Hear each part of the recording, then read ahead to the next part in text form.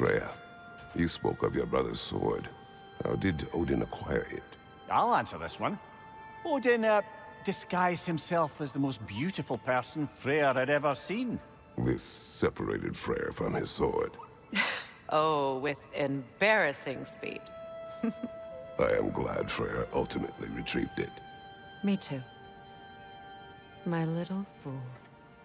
Kratos, a raider encampment. Shall we take care of them, brother?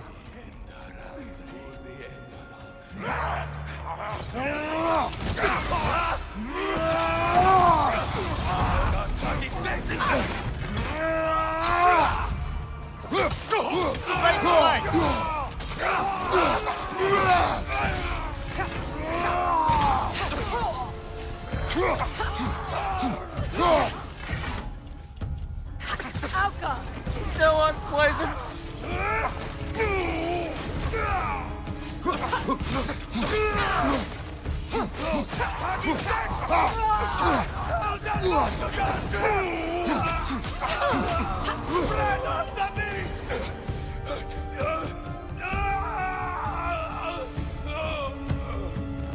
Suspect that's all of them.